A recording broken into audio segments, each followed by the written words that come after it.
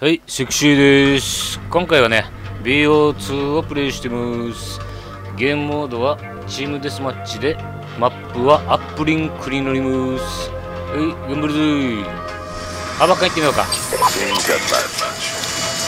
このマップもね、ブラックオプスのな、どういうあの名前忘れたんだけどね、ちょっとその人気マップのね、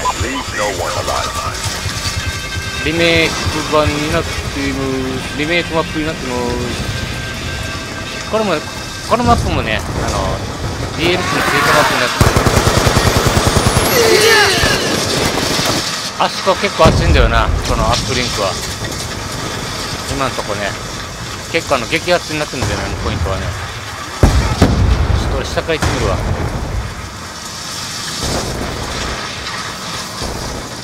これはドミネーションっていう C, C か、これは。タケコンがいるのかい。ビュ最近あのフリーフォールであれだなそのあー BO2 であのドミネーションとかのフリーフォールばっかりだったんでチームデスマ久しぶりだなわ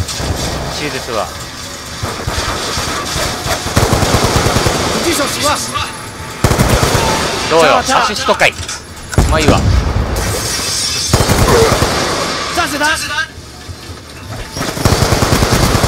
どうよ我炸死他了！怖いわ。助けて見て。さすがにスネークあんまりいねえな。あ面白いやっぱ C ですわドミネーションなんて難しいんだよねここいてこの野郎。慣れすんでいい。いけ。ちょっと話は違うんだけどね。最近あの先月ねあの。今まで使って2年間使ったの。スマホをねスマホから普通のねあのガラケーって言ってあのあの折りたたみ携帯。に機種変更したんでね。機種変更した理由としてはねやっぱりねあのスマホはねあのご存知の通りね毎月のあの維持費が大変でね1万円ぐらいかかるんでね。そうだとねいろんなあの自分の買い物が多いんでね。あの AKB48 関連のね DVD ブルーレイあと生写真。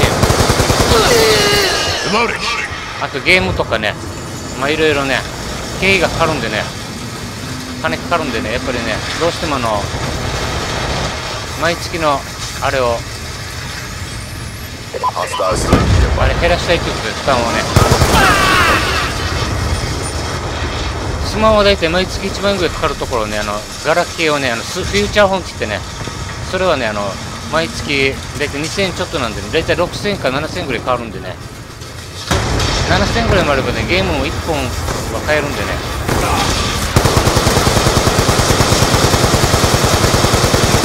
我架空了！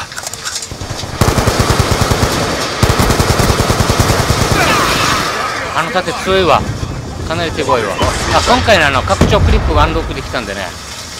やっぱ拡張クリップアンロックできたらやっぱ強いわ。全然違うわ。毎月の利用利用料金がねスマホのねスマホから機種変更したんでねガラケーにね。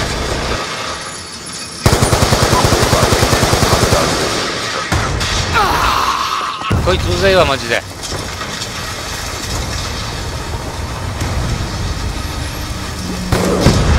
スマホからねガラケーに機種変更したんで6000から7000ぐらいの毎月毎月変わるんでねそんだけ浮いちゃうんでねそれだったらゲームも1本買えるしあの AKB48 のね DVD ブルーレイ月別生写真とかね，月別生写真とかそういった毎月月別生写真が一番金かかるんでね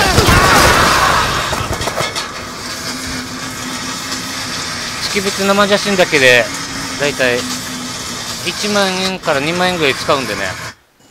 まあ人気のメンバーだとね自分があの自分のあのまゆこと渡辺真由とね松井樹里奈は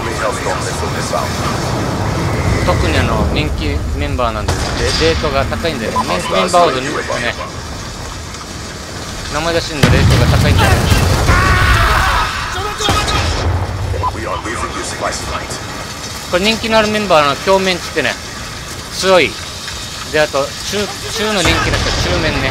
であとあまり人気のないメンバーは、ね、弱弱い弱面って言ってね分かれていてこれ4枚になってんでねあのコンプでねであと1枚はね共通の魔女神っつってねみんなメンバーのね同じメンバーの共通のポーズがあってね。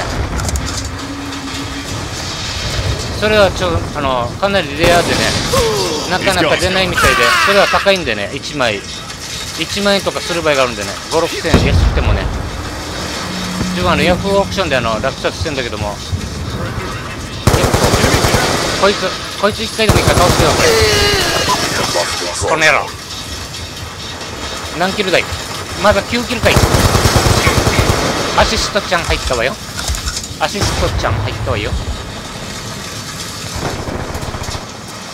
押しちゃ。え上にのかい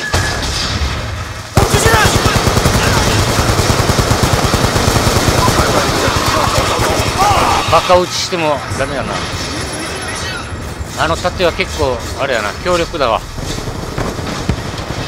いるよね。スモーク回するけどなかなか接戦で面白いな、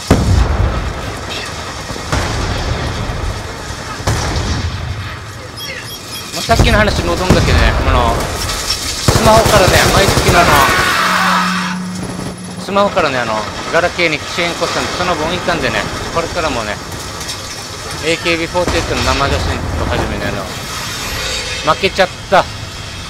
はい今回の成績はね9キル17です。でした。9キル17です。5アシスト。スコア1220です。全然勝てんかったな。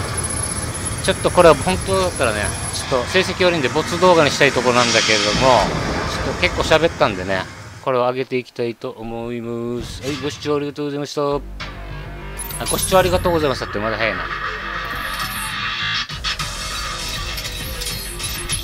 はい今回使った武器はアサルトライフルのアバカンにアタッチメントがクイックドロー可変ストック拡張クリップワイルドカードはパーク1グリードメインガンファイターパーク1はライトウェイトハードラインパーク2はタフネスパーク3はデクスタリーというカスタムでやっていきましたこのねあのアバカンはね武器プレステージ2でね今現在15でもう少しでね16に上がるんだけどもね。であとこの昨日ねあの拡張クリップアンロックしたばっかりでね早速つけてみました。あとねこのレベル武器レベル16でこのグレネード L ガンロックで。で武器レベル17でこの MM スキャナーがアンロックされてねで現在ねこの武器プレステージ2なんでね。あと2つあとね1617これここまでもう少しでねマックスなんでね武器レベル武器プレステージがもうマッ武器プレステージ2はあのマックスなんでね。そしたらねこれも OK なんでね。で次のプレステージプレステージリセット。次のプレステージにした場合ねこれもあの最初から永久アンロックでやればねアンロックすればねこれも最初からもう全アタッチメントも解除されてるんでね。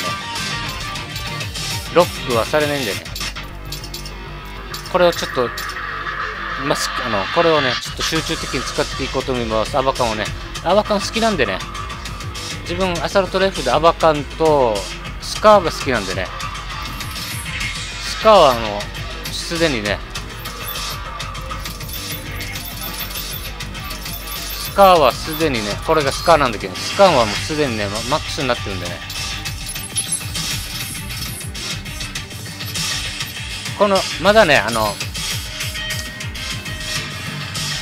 武器プレス武あの武器のプレステージマックスマックスになってないのはねこのスコーピオンエボ。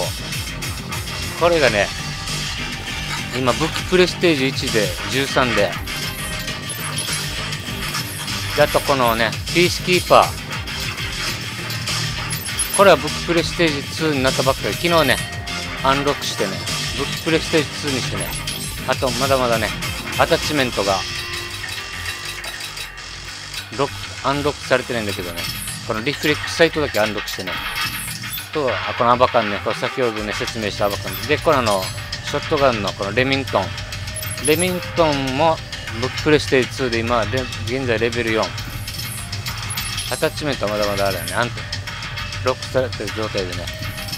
でこのショットガンの同じくショットガンの M2 M1216 これはブックプレステージ1ショットガンは速いんでね。武器レベル10までしかないんでね。でしょ？えあのスナイパーライフルは BO2 はねスナイパーライフルめちゃくちゃ難しいんでね。あ全然使ってないんでね。全然上がってないんだけどね。武器これね SVUAS っていうのはねこれ今武器レベル2かまだ。まだこのサプレッサーまでしかアンロックできてないんで。で同じくスナイパーライフルのね DSR50 はこの武器レベルまでは武器レベルプレステージになってないんだ。FMJ までアンロックできて。あれだ。ねスナイパーもね難しいんだけどショットガンと同じくね武器レベル10までなんでね。でこの一番多分 BO2 で人気のあるスナイパーライフルはこのバリスタだと思うんでね。バリスタもまだ武器レベルプレステージまだ行ってないんでね。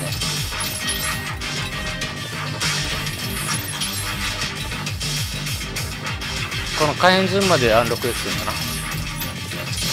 この同じく、スナイパーライフルの XPR50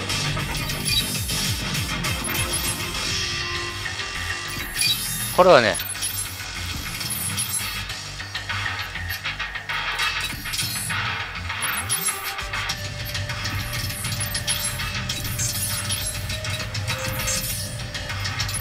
これもまだ武器プレステージまで行ってないんでね。レベル武器レベル5えっとこのアサルトシールド。これは武器プレステージまだまだ行ってないんでね。武器レベル2これ明細全部チャレンジしたらね気になるんだけどね。だハンドガン系もねこれはカップ40これもまこれは武器プレステージ1って言うんだね。レ武器プレステージ16レベル6でこうやってまだ。ハンドガンもね武器レベル10までなんでね。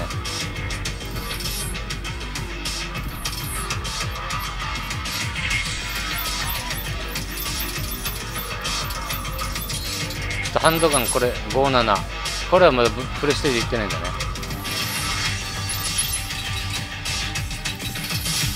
であとは。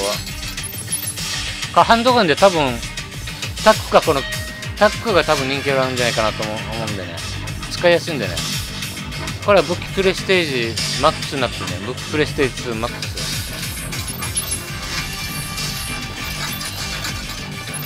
自分ハンドガンではねこの B223R が使いやすくてねこれも結構そういんでね。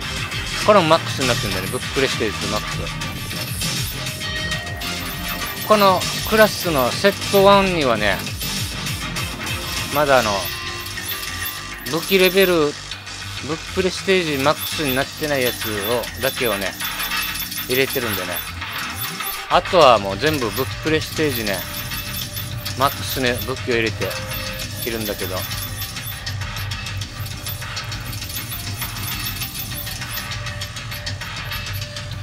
い。ちょっと長かったんだけど長くなったんだけどね。はい。今回はご視聴ありがとうございました。